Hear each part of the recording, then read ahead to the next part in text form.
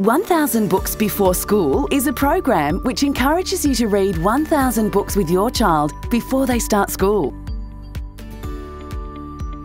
Research has shown that reading with your children from an early age can dramatically improve language and literacy outcomes in the first five years of school.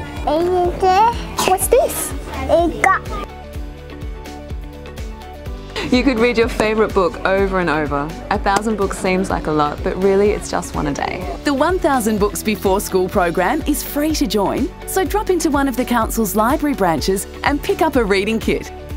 We really want the best for our kids and the earlier we can start, the better.